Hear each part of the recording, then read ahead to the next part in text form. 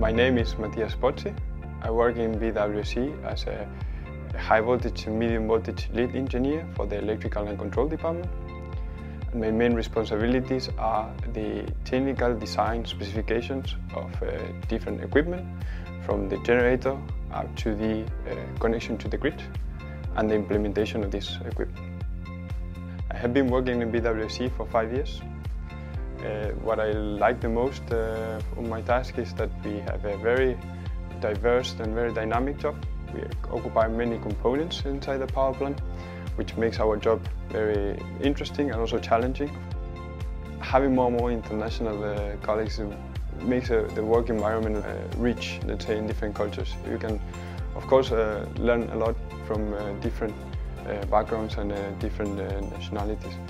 And that makes our work interesting and makes our work more complete.